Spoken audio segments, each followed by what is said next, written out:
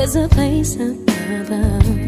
Know my heart and struggling, free from all atrocities and suffering, because I feel the unconditional love.